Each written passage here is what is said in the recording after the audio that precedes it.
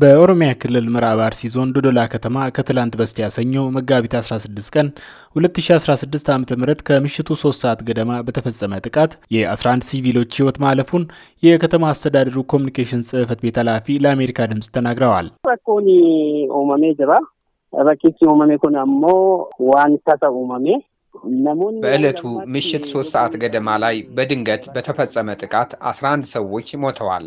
ተመተው የተጎዱም አሉ። ከጥቃቱ ጀርባ በገደብ አሳሳ፣ በአዳባ በክልልም ደረጃ ታጥቆ የሚንቀሳቀሰው ማለትም በሸኔ ነው የሚል መላምት አለ። ነገር ግን ምርመራ እየተካሄደ ነው። የዚህ ሰው ሁሉ ሕይወት ሲያልፍ ለምን የጸጥታ ኃይል በፍጥነት አልደረሰም በሚል የተጠየቁት አቶ አማን በሰጡት ምላሽ ጥቃቱ የተፈጸመው በደነባ ክፍለ ከተማ ደብረ ቅዱሳን ጻድቁ አቡነ ገብረ ክርስቶስ ቤተ ክርስቲያን አቅራቢያ ነው። ይህ ኃይል ሆን ብሎ የሃይማኖት አባትንና ልጆቻቸውን የገደለው እርስ በርስ ግጭት እንዲነሳ ለማድረግ ነው ብለን እንገምታለን።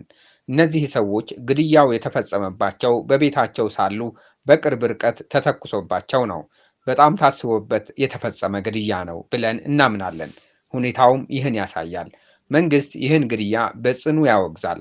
ለደረሰው የንጹሐን ሞትም የተሰማውን ሐዘን ይገልጻል። ከጥቃቱ ፈጻሚዎች በቁጥጥር ስር የዋለ ስለመኖሩ የተጠየቁት የዶዶላ ከተማ አስተዳደር ኮሚኒኬሽን ጽሕፈት ቤት ኃላፊው ተከታዩም ብለዋል። አንገማቲ ነሞኒ አሁን ክትትል እየተደረገ ነው። በዚህ ኃይል ላይ እርምጃ ለመውሰድ እስከ ክልል ድረስ ምርመራ እየተጣራ ነው። ይህ ግድያ ሰላማዊ የነበረውን አካባቢ ስም ለማጠልሸት የተደረገ ነው።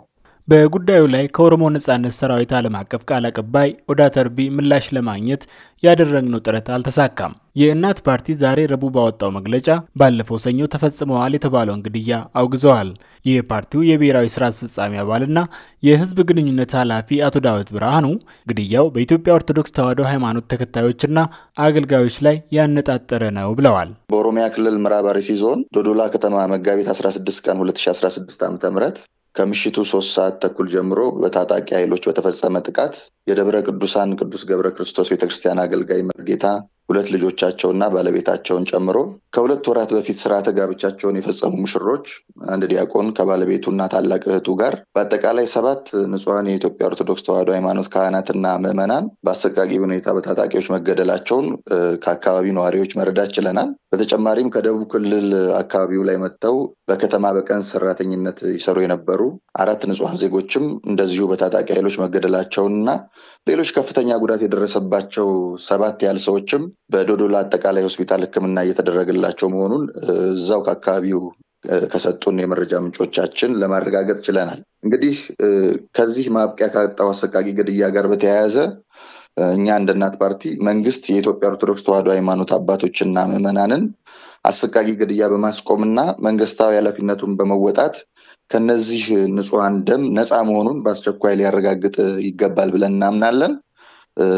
ይህንንም ደግሞ በተዋጣ ደረጃ ማከናወን ይችል ዘንድ መንግስት እንደ መንግስት ያሉትን የጸጥታ አካላትን መዋቅር ፍተሻ እንዲያደርግ፣ እንዲህ ያሉ ክፍተቶች የሚፈጠሩበት ምክንያት ምንድን ነው የሚለውን እንዲያጠና፣ በተቻለ መጠን ደግሞ መንግስት እንደ መንግስት የህዝቡን ነፃነት የህዝቡን በሰላም ወጥቶ መግባት የማስከበር ግዴታና ኃላፊነት ስላለበት በዚህ ያህል መጠን የቀደሙ ስህተቶችን አርሞ በዘላቂነት እንዲህ ያሉ ድርጊቶች የሚፈቱበትን ሁኔታዎች እንዲያመቻች የሚያሳስብ መግለጫ ወጥተናል።